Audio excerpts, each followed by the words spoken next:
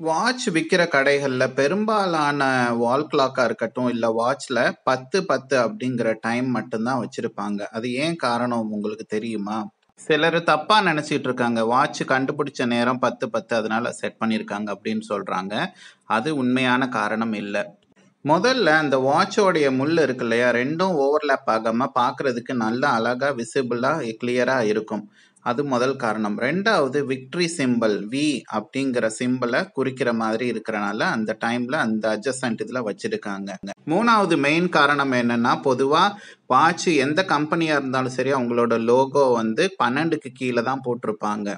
Number மூணு ஆறு ஒம்பதுக்கு பக்கத்தில் டைரக்ஷனு, கேலண்டர் அந்த மாதிரியான டீட்டெயில்ஸ் இருக்கனால, அங்கே வைக்க முடியாது. அதனால இந்த டைம் தான் கரெக்டாக இருக்கும்.